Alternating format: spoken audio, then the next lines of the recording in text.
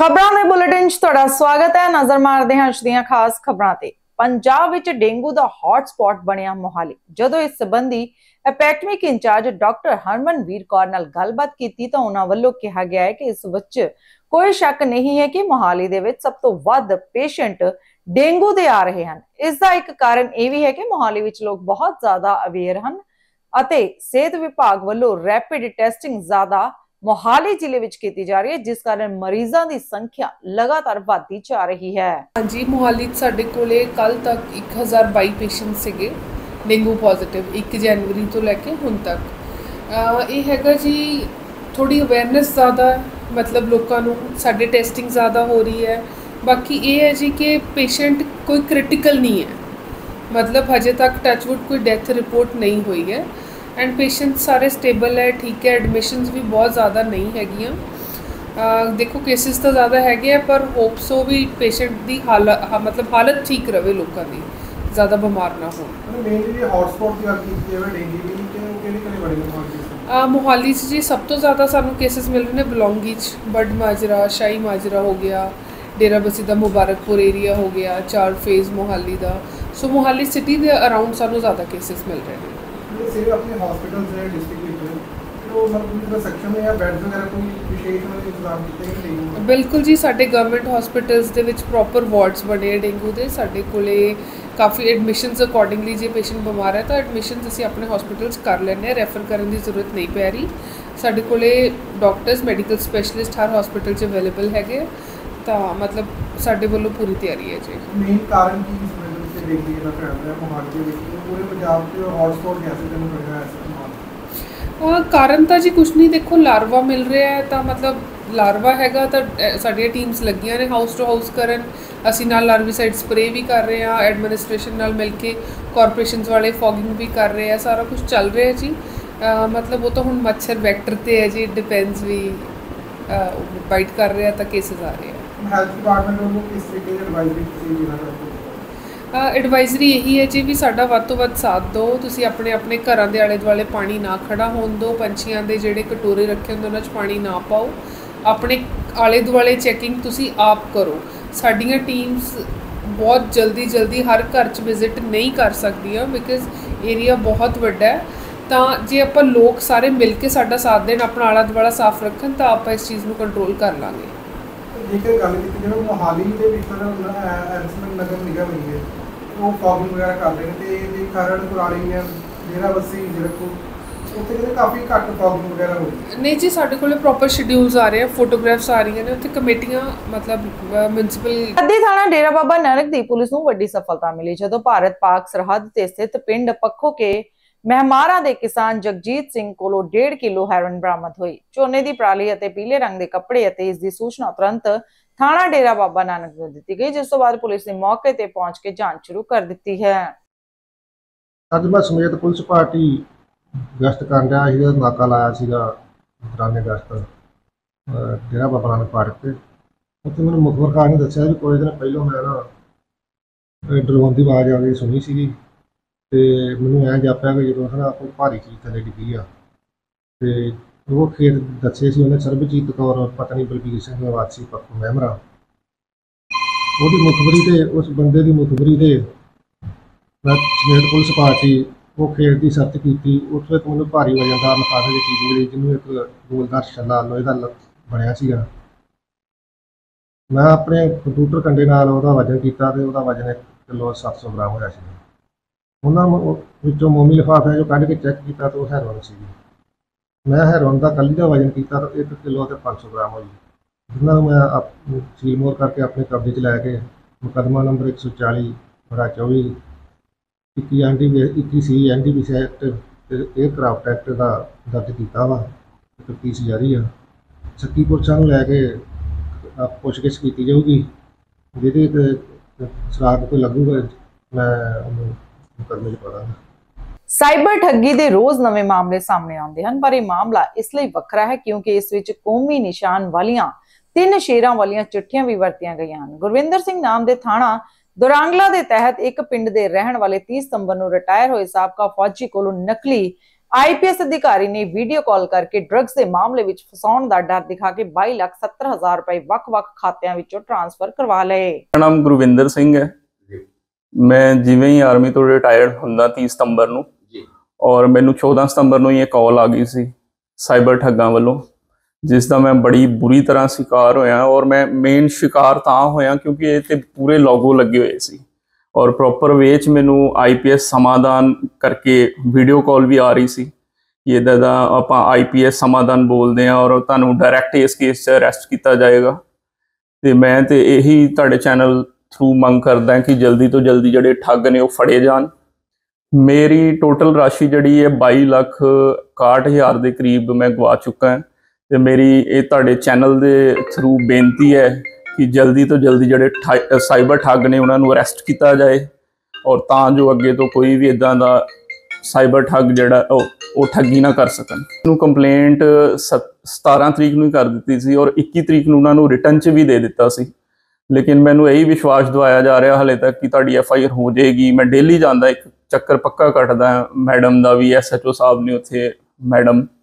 ਤੇ ਮੈਂ ਡੇਲੀ ਇੱਕ ਚੱਕਰ ਲਗਾਉਂਦਾ ਲੇਕਿਨ ਹਾਲੇ ਇਸ ਮਾਮਲੇ ਤੇ ਕੋਈ ਇੰਨੀ ਸੁਣਵਾਈ ਨਹੀਂ ਕੀਤੀ ਗਈ ਮੇਰੀ। ਮੈਂ 21 ਸਾਲ ਦੇਸ਼ ਦੀ ਸੇਵਾ ਕਰਕੇ ਆਪਣੇ ਘਰ ਵਾਪਸ ਆਇਆ। ਮੈਂ ਇਹੀ ਕਰਦਾ ਕਿ ਜਲਦੀ ਤੋਂ ਜਲਦੀ ਮੇਰੀ ਜਿਹੜੀ ਉਹ ਰਾਸ਼ੀ ਅ, ਵਾਪਿਸ ਦਿਲਾਈ ਜਾਏ ਔਰ ਜਿਹੜੇ ਜਿਨ੍ਹਾਂ ਨੇ ਇਹ ਠੱਗੀ ਕੀਤੀ ਉਹਨਾਂ ਨੂੰ ਜਲਦੀ ਤੋਂ ਜਲਦੀ ਅਰੈਸਟ ਕੀਤਾ ਜਾਏ। ਤਾਂ ਜੋ ਮੇਰੀ ਰਾਸ਼ੀ ਵਾਪਿਸ ਆ ਸਕੇ। ਜਦੋਂ ਮੈਨੂੰ ਵੀਡੀਓ ਕਾਲ ਆਂਦੀ ਹੈ ਮਤਲਬ ਨੈਕਸਟ ਡੇ ਉਹ ਪਹਿਲੀ ਗੱਲ ਤੇ ਉਹ ਮੇਰੇ ਨਾਲ WhatsApp ਤੇ ਦੋ ਦਿਨ ਅਟੈਚ ਹੀ ਰਹੇ ਨੇ ਲਗਾਤਾਰ। ਔਰ ਜਿਵੇਂ ਮੈਨੂੰ ਆਈਪੀਐਸ ਸਮਾਧਾਨ ਦੀ ਕਾਲ ਆਂਦੀ ਹੈ ਫਿਰ ਮੈਂ ਥੋੜਾ ਪਾਣੀ ਪਾਣੀ ਹੋ ਜਾਂਦਾ ਕਿ ਐਡੇ ਵੱਡੇ ਅਧਿਕਾਰੀ ਦੀ ਕਾਲ ਆ ਸਕਦੀ ਹੈ। ਮੈਨੂੰ ਇਹ ਅੰਦਾਜ਼ਾ ਵੀ ਨਹੀਂ ਕਿ ਇੰਨਾ ਫੇਕ ਹੋ ਸਕਦਾ ਉਹਦੇ ਵਿੱਚ। ਕਿਉਂਕਿ ਉਹ ਪ੍ਰੋਪਰ ਵੇ ਵਿੱਚ ਉਹਨਾਂ ਨੇ ਯੂਨੀਫਾਰਮ ਪਾਈ ਹੋਈ ਸੀ। ਔਰ ਉਹ ਇਹੀ ਬਾਰ-ਬਾਰ ਕਹਿ ਰਹੇ ਕਿ ਅ, ਤੁਹਾਨੂੰ ਸੀਬੀਆਈ ਜਿਹੜੀ ਹੈ ਡਾਇਰੈਕਟ ਦਿੱਲੀ ਪੁਲਿਸ ਅਰੈਸਟ ਕਰੇਗੀ ਤੇ ਮੈਂ ਥੋੜਾ ਤਾਂ ਉਹਨਾਂ ਦੇ ਜਿਹੜੇ ਚੰਗਲ 'ਚ ਫਸ ਗਿਆ। ਇਹ ਸਾਡੇ ਜ਼ਿਲ੍ਹੇ ਦੇ ਵਿੱਚੋਂ ਸਾਡੇ ਨਜ਼ਦੀਕ ਤੋਂ ਇੱਕ ਸੈਨਿਕ ਜਿਹੜਾ ਉਹ 21 ਸਾਲ ਸਰਵਿਸ ਕਰਕੇ ਆਪਣੇ ਘਰ ਪਹੁੰਚਿਆ ਹੈ 30 ਤਰੀਕ ਨੂੰ ਹੀ। ਉਹ ਆਉਂਦਿਆਂ ਸਾਰ ਹੀ ਅਜੇ ਮੇਰਾ ਖਿਆਲ ਹੈ ਪੂਰੀ ਤਰ੍ਹਾਂ ਆਪਣੀ ਸਿਵਲ ਲਾਈਫ ਦੇ ਵਿੱਚ ਸੈਟਲ ਵੀ ਨਹੀਂ ਹੋਇਆ ਤੇ ਉਹਦੇ ਨਾਲ ਇਹ ਸਾਈਬਰ ਠੱਗਾਂ ਦਾ ਜਿਹੜਾ ਉਹਨਾਂ ਦੇ ਜਾਲ ਦੇ ਵਿੱਚ ਫੜਿਆ ਗਿਆ। ਇਹ ਰਾਸ਼ੀ ਜਿਹੜੀ ਹੈ 13 ਤੇ 9 22 ਲੱਖ 68918 ਰੁਪਏ ਬਣਦੀ ਹੈ ਟੋਟਲੀ ਤੇ ਇਹ ਕੋਈ ਛੋਟੀ ਮੋਟੀ ਰਾਸ਼ੀ ਨਹੀਂ ਹੈ।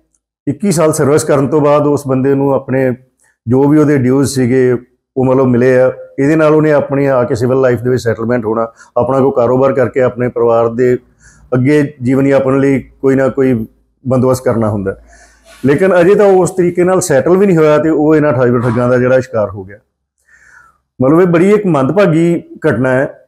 ਇਹਦੇ ਵਿੱਚ ਦੇਸ਼ ਦੀਆਂ ਜਿਹੜੀਆਂ ਸੁਰੱਖਿਆ ਏਜੰਸੀਜ਼ ਨੇ, ਇਹ ਜਿਹੜੇ ਪੇਪਰ ਯੂਜ਼ ਕੀਤੇ ਗਏ ਨੇ ਇਹਦੇ ਉੱਤੇ ਦੇਸ਼ ਦਾ ਜਿਹੜਾ ਐਂਬਲਮ ਹੈ, ਨੈਸ਼ਨਲ ਐਂਬਲਮ ਉਹਦੀ ਵੀ ਬੈਕਗ੍ਰਾਉਂਡ ਪ੍ਰਿੰਟਿੰਗ ਹੈ।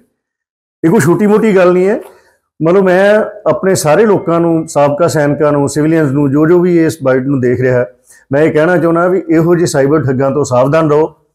ਇਹਨਾਂ ਦੀ ਕਿਸੇ ਵੀ ਕਾਲ ਨੂੰ, ਜਿੱਥੇ ਤੁਹਾਨੂੰ ਲੱਗਦਾ ਹੈ ਕਿ ਕੋਈ ਗਲਤ ਚੀਜ਼ ਹੋ ਗਈ ਹੈ, ਉਹਨੂੰ ਜਿੰਨੀ ਵੀ ਜਲਦੀ ਹੁੰਦਾ ਕੱਟ ਕਰੋ। ਔਰ ਇਸ ਦੀ ਰਿਪੋਰਟ ਜਿਹੜੀ ਹੈ, ਨਾਲ ਦੇ ਨਾਲ ਆਪਣੇ ਪੁਲਿਸ ਸਟੇਸ਼ਨ ਦੇ ਵਿੱਚ ਜ਼ਰੂਰ ਦਿਓ ਕਿ ਇਸ ਨੰਬਰ ਤੋਂ ਮੇਰੇ ਨਾਲ ਆਹ ਕਾਰਵਾਈ ਹੋ ਗਈ ਹੈ, ਤਾਂ ਜੋ ਉਹਨਾਂ ਖਿਲਾਫ ਜਲਦੀ ਤੋਂ ਜਲਦੀ ਕਾਰਵਾਈ ਕੀਤੀ ਜਾ ਸਕੇ।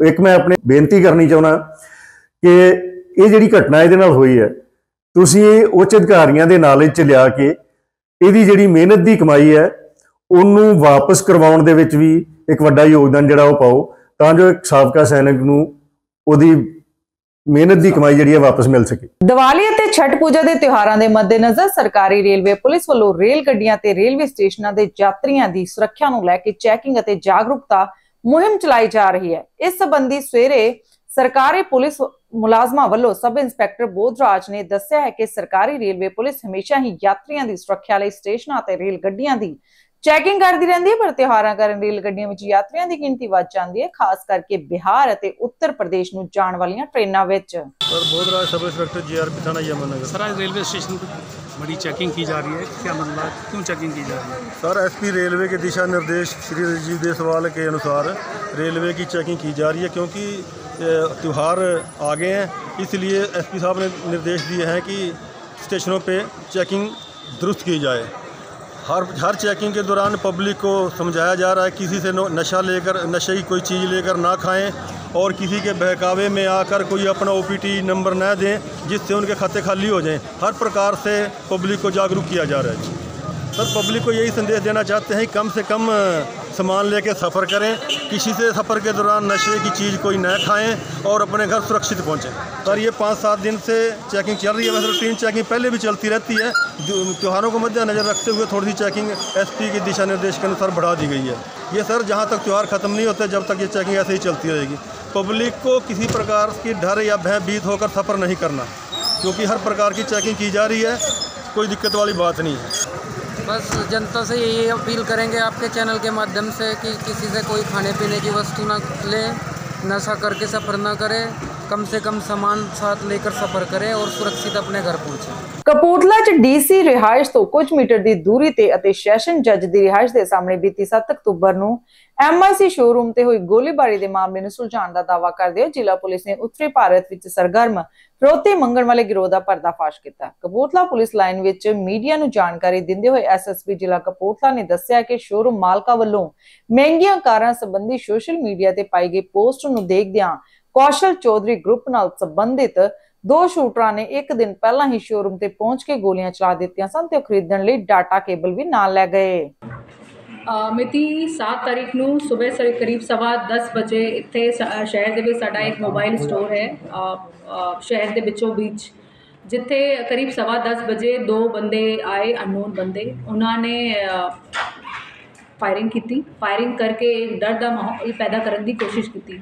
ਔਰ ਫਾਇਰਿੰਗ ਕਰਨ ਤੋਂ ਬਾਅਦ ਉਹ ਇੱਥੋਂ ਫਰਾਰ ਹੋ ਗਏ ਔਰ 2 ਦਿਨ ਬਾਅਦ ਜਿਹੜੇ ਮੋਬਾਈਲ ਸਟੋਰ ਕੇ ਜੋ ਓਨਰ ਹੈ ਉਹਨਾਂ ਨੂੰ ਐਕਸਟੋਰਸ਼ਨ ਕਾਲ ਦਿੱਤੀ ਔਰ ਉਹਨਾਂ ਤੋਂ ਕੁਝ ਡਿਮਾਂਡ ਕੀਤੀ ਤੋ ਕਪੂਰਥਲਾ ਪੁਲਿਸ ਨੇ ਬੜੀ ਮਿਹਨਤ ਨਾਲ ਕਰੀਬ ਸਾਨੂੰ 10 ਦਿਨ ਦਾ ਟਾਈਮ ਲੱਗਿਆ ਇਹ ਅਣਪਛਾਤੇ ਬੰਦਿਆਂ ਨੂੰ ਆਈਡੈਂਟੀਫਾਈ ਕਰਕੇ ਇਹਨਾਂ ਨੂੰ ਅਸੀਂ ਕਾਨੂੰਨ ਦੇ ਦਾਇਰੇ ਵਿੱਚ ਲਾਉਣ ਦੇ ਵਿੱਚ ਸਾਨੂੰ 10 ਦਿਨ ਦਾ ਟਾਈਮ ਲੱਗਿਆ ਮੈਂ ਤੁਹਾਨੂੰ ਇਸ ਇੰਸੀਡੈਂਟ ਦੀ ਜਿੱਦਾਂ ਜਿੱਦਾਂ ਇਹ ਇੰਸੀਡੈਂਟ ਹੋਇਆ ਹੈ, ਮੈਂ ਉਹਦੀ ਪਹਿਲੇ ਘਟਨਾਕ੍ਰਮ ਦਾ ਇੱਕ ਤਰਤੀਬਵਾਰ ਤੁਹਾਨੂੰ ਵੇਰਵਾ ਦੇ ਦੇਣਾ ਹੈ। ਇਹ ਦੋਨੋਂ ਬੰਦੇ ਜਿਹੜੇ ਅਸੀਂ ਰਾਉਂਡ ਅਪ ਕੀਤੇ ਹਨ ਇਹ ਕੌਸ਼ਲ ਚੌਧਰੀ ਗੈਂਗ ਜਿਹੜਾ ਆਪਰੇਟਿਵ ਹੈ ਹਰਿਆਣਾ, ਗੁੜਗਾਉਂ, ਪੰਜਾਬ, ਰਾਜਸਥਾਨ ਔਰ ਵੈਸਟਰਨ ਯੂਪੀ ਦੇ ਵਿੱਚ ਇੱਕ ਗਰੁੱਪ ਜਿਹੜਾ ਹੈ, ਇਹ ਸਕਰੀ ਹੈ। ਇਹਦੇ ਕਾਫੀ ਸਾਰੇ ਮੈਂਬਰਸ ਹਨ ਔਰ ਇਹ ਆਰਗੇਨਾਈਜ਼ਡ ਕ੍ਰਾਈਮ ਦੇ ਵਿੱਚ ਸਕਰੀ ਹੈ।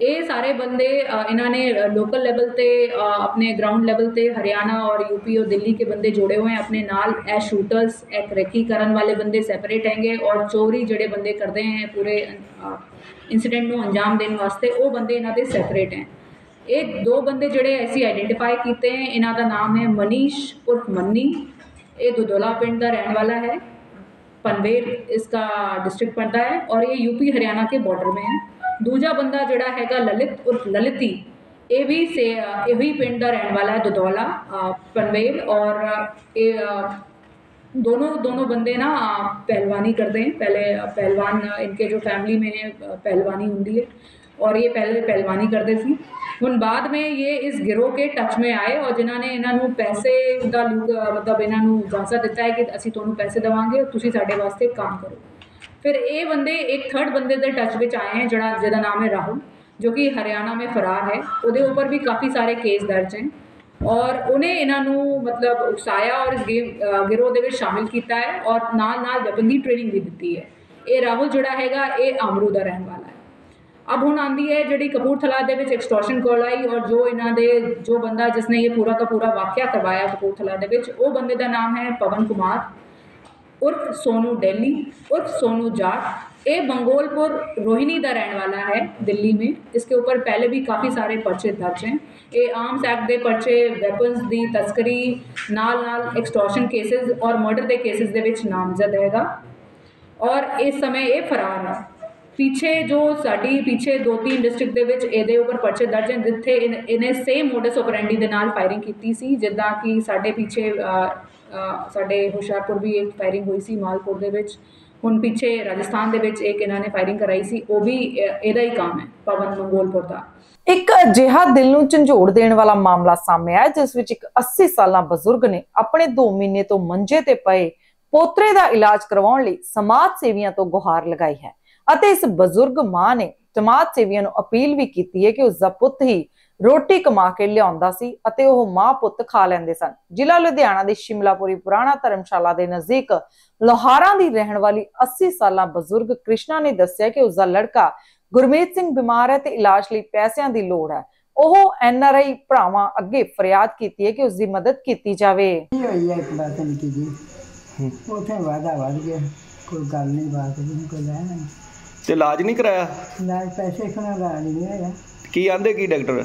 ਡਾਕਟਰ ਨੇ ਪੈਸਾ ਲਿਆ ਹੋਇਆ ਇੰਨਾ ਪੈਸਾ ਲਿਆ ਇੰਨਾ ਪੈਸਾ ਹੈ ਨਹੀਂ ਕੋਲ ਕਦੋਂ ਦੇ ਨੇ ਮੰਜੇ ਤੇ? ਦੋ ਮਹੀਨੇ ਹੋ ਗਏ ਆ।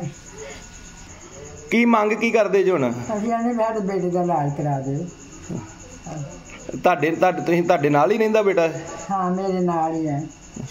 ਤੁਹਾਡੀ ਉਮਰ ਕਿੰਨੀ ਹੋ ਚੱਲੀ ਆ ਉਮਰ ਤੇ ਹੁਣ ਦੇਖਣਾ ਤੇਰੀ ਮੇਰੀ ਉਮਰ। ਤੇ ਤੇ ਰੋਟੀ ਪਾਣੀ ਇਹੋ ਲਿਆ ਕੇ ਦਿੰਦੇ ਸੀ ਤੁਹਾਨੂੰ? ਹਾਂ ਇੱਥੇ ਦੇ ਇੱਥੇ ਨਾਲ ਹੀ ਹੈ ਇਹ ਦੇਣੇ ਲਿਆਉਣਾ ਲਿਆਉਂਦਾ ਮਾਰਾ ਮਜਾ ਜਿਹੜਾ ਕਰਦਾ ਲੈ ਆਉਂਦਾ ਹਾਂ ਨਾ ਪਤ ਪਕਾ ਕੇ ਖਾ ਲੈਨੇ ਆ। ਤੇ ਕੀ ਗੱਲ ਹੋਈ ਹੈ ਕਿਸ ਤਰ੍ਹਾਂ ਪਏ ਜੇ ਮੰਜੇ ਤੇ? ਹਾਂਜੀ ਤੇ ਜਿਹੜੀ ਦਫਾ ਕਰਦੇ। ਹੂੰ।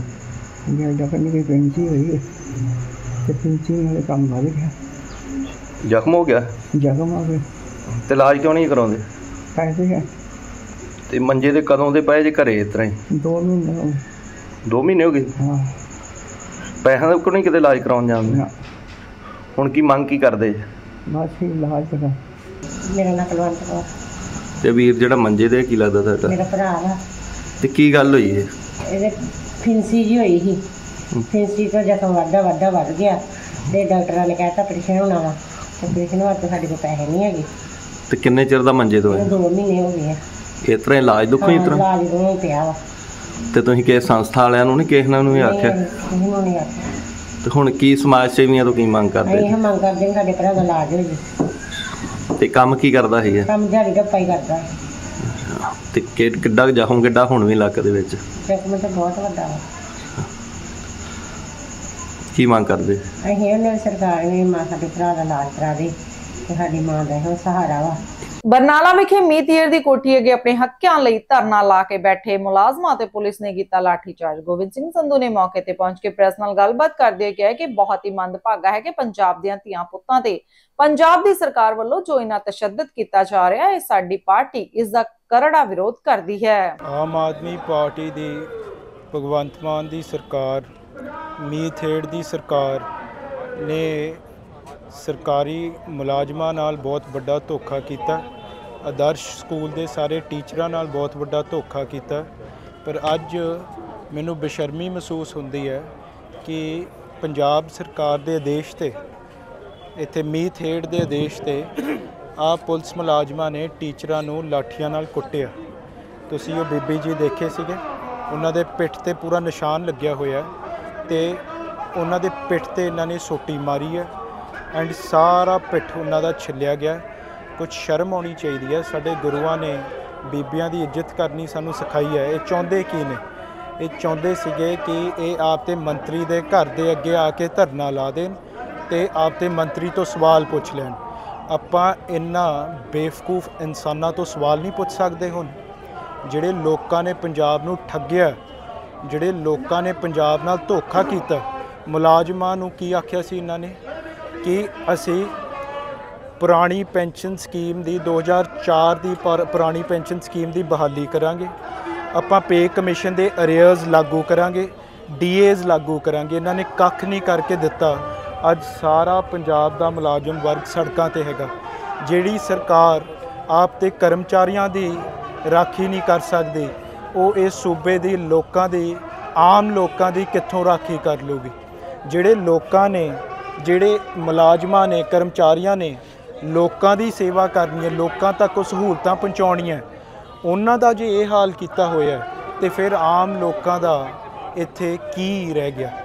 ਇਹ ਜਿਹੜੇ ਆਦਰਸ਼ ਸਕੂਲ ਦੇ ਮੁਲਾਜ਼ਮ ਹੈਗੇ ਆ ਸਿਹਤ ਦੀ ਤੇ ਸਿੱਖਿਆ ਦੀ ਇਹ ਬਹੁਤ ਗੱਲਾਂ ਕਰਦੇ ਸੀ ਡਰਾਮਾ ਕਰਦੇ ਸੀਗੇ। ਮਾਨ ਜੀ ਕਹਿ ਰਹੇ ਸੀ ਹਰਾ ਪੈਨ ਚੱਲੂ ਤੇ ਕਿਵੇਂ ਦੇਖਦੇ ਹੋ ਤੁਸੀਂ? ਮੈਨੂੰ ਲੱਗਦਾ ਉਹਨੂੰ ਕਿਸੇ ਰੰਗ ਦਾ ਪੈਨ ਚਲਾਉਣਾ ਨਹੀਂ ਆਉਂਦਾ।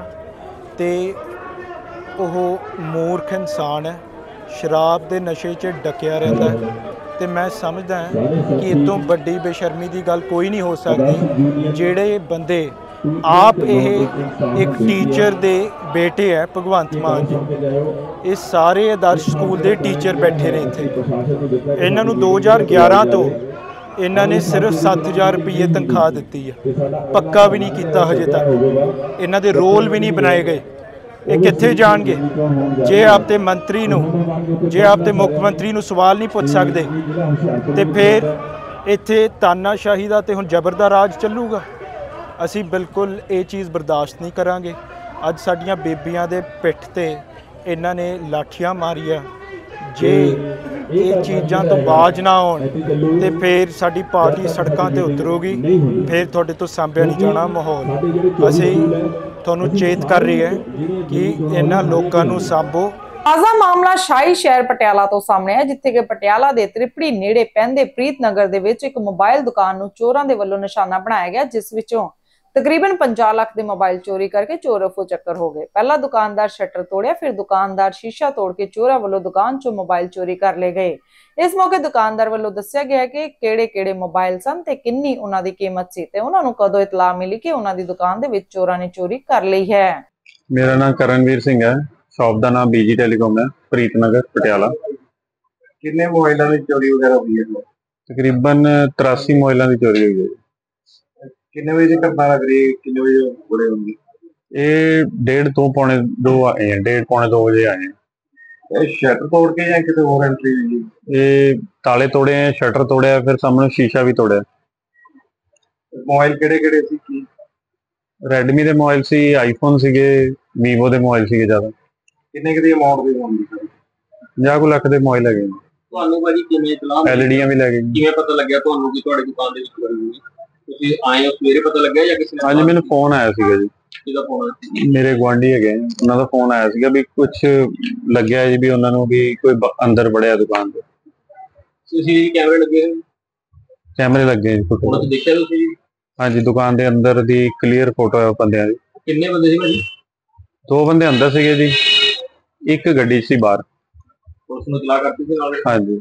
ਹੁਣ ਪੀਸੀਆਰ ਵੈਨ ਨਾਲ ਹੀ ਆ ਗਈ ਸੀ। ਕੀ ਕਾਰਵਾਈ ਕਰ ਰਹੇ ਪੁਲਿਸ ਭਰੋਸਾ ਨਹੀਂ ਸਰ ਲੱਗੇ ਹੋਏ ਆ ਜੀ ਕਹਿ ਰਹੇ ਆ ਵੀ ਉਮੀਦ ਹੈਗੀ ਹੈ ਜੀ। ਕਿੰਨਾ ਦੀ ਕਾਰਵਾਈ ਦੀ ਮੰਗ ਕਰਦੇ ਹੋ? ਇਹ ਜੀ ਰਾਤੀ ਇਤਲਾਹ ਮਸੂਲ ਹੋਈ ਸੀਗੀ ਬੀਜੀ ਟੈਲੀਕਾਮਸ ਨਾਮ ਦੀ ਇੱਕ ਕੰਪਨੀ ਹੈ ਤ੍ਰਿਪੜੀ ਬਾਜ਼ਾਰ ਦੇ ਵਿੱਚ ਸਥਿਤ। ਹੈ ਉਹਦੇ ਵਿੱਚ ਇੱਕ ਕੁਝ ਮੋਬਾਈਲ ਜਿਹੜੇ ਰਾਤੀ ਨਾਮਲੂਮ ਚਾਰ ਵਿਅਕਤੀਆਂ ਵੱਲੋਂ ਚੋਰੀ ਕੀਤੇ ਗਏ। ਉਹਦੇ ਸੰਬੰਧੀ ਐਫ ਆਈ ਆਰ ਦਰਜ ਕਰਕੇ ਅਗਲੀ ਕਾਰਵਾਈ ਜੀ ਉਸ ਉਸ ਸੰਬੰਧੀ ਉਹ ਸਾਨੂੰ ਜੇ ਰਿਕਾਰਡ ਪ੍ਰੋਵਾਈਡ ਕਰਾ ਰਹੇ ਨੇ ਜਾਂ ਆਪਣਾ ਬਿੱਲ ਵਗੈਰਾ ਚੈੱਕ ਕਰਕੇ ਸਾਡੀ ਫੋਰੈਂਸਿਕ ਦੀ ਟੀਮ ਪਹੁੰਚੀ ਹੋਈ ਹੈ ਉੱਥੇ। ਸੋ ਜਿੱਦਾਂ ਵੀ ਉਹ ਡਾਟਾ ਦੇਣਗੇ ਉਸ ਹਿਸਾਬ ਨਾਲ ਅਗਲੀ ਕਾਰਵਾਈ ਹੋਵੇਗੀ ਹਾਂਜੀ ਸੀਸੀਟੀਵੀ ਫੁਟੇਜ ਆਈ ਹੈ ਜੀ ਵਾਈਟਲ ਕਲੂਜ਼ ਮਿਲੇ ਨੇ। ਉਸ ਤੇ ਸਾਡੀਆਂ ਟੀਮਾਂ ਲੱਗ ਰਹੀਆਂ ਕੰਮ ਕਰ ਰਹੀਆਂ। ਕਿੰਨਾ ਕੁ ਨੁਕਸਾਨ ਹੋਇਆ ਇਹ ਵੀ ਜੀ ਜਦੋਂ ਲਿਸਟ ਦੇਣਗੇ ਉਸ ਤੋਂ ਅੰਦਾਜ਼ਾ ਲਾਇਆ ਜਾਊਗਾ। ਦੋਸਤੋ ਇਹ ਸਨ ਸਾਡੀਆਂ ਅੱਜ ਦੀਆਂ ਖਾਸ ਖਬਰਾਂ। ਨਵੀਆਂ ਤੇ ਤਾਜ਼ਾ ਖਬਰਾਂ ਦੇ ਨਾਲ ਤੁਹਾਡੇ ਸਾਹਮਣੇ ਫਿਰ ਤੋਂ ਰੂਬਰੂ ਹੋਵਾਂਗੇ। ਤਦ ਤੱਕ ਲਈ ਮੈਨੂੰ ਯਾਨੀ ਕਿ ਤੇਜਿੰਦਰ ਕੌਰ ਨੂੰ ਦਿਓ ਇਜਾਜ਼ਤ। ਰੱਬ ਰਾਖਾ